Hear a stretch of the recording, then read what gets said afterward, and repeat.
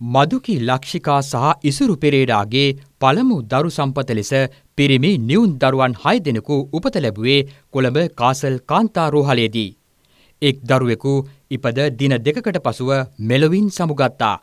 සිය දරුවන් පස් දෙනා ලෝකයට ආදර්ශවත් ලෙස හැඩගැන්වීම තමන්ගේ අරමුණ බවයි මව පවසන්නේ.